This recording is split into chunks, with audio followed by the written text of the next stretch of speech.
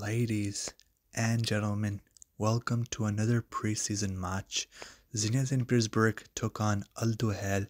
Now, Al Duhail did not have one of their star players, Philippe Coutinho, and it really uh, put a lot of difference in today's match. And uh, we won 2 0 against Al Duhail.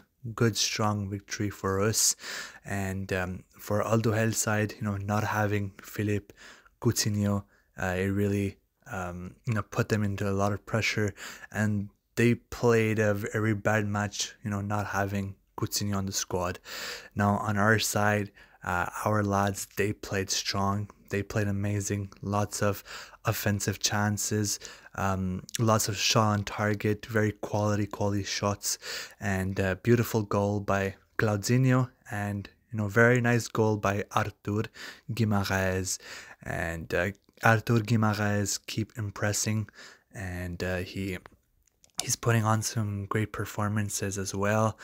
I'm really I'm really happy to see Pedrinho. I'm really happy to see uh, Artur Victor, obviously, and I'm really also really happy to see Akhmetov getting some you know good good minutes in this preseason, and really you know starting to get to use and uh, getting to know our um, our system, our playing style, and just most importantly, building some good, uh, valuable team chemistry uh, with our veterans. So I'm really just happy to see that our boys are playing well, and now we're back to victory. You know, we we had a draw last match, and um, you know it, it, was a tough one. If we, we should have won that match, you know we just were not uh, confident, and we didn't play our game. But you know now we're back to victory, and uh, we cannot um, underestimate Al Duhail. You know Al Duhail, you know they they have some some good matches that they have played. They have played against some strong teams. Even they have played against Al Nassr in the Asian Champions League, if I'm not if I'm not wrong. And they have you know obviously a star player a very strong player like Philippe Coutinho, who has so much experience and so many trophies in Europe, and um, they also have a very good experienced manager in uh, Christophe Galtier. So um, they have uh, a good squad. It's just that today was not their day. It was just Zenit's day.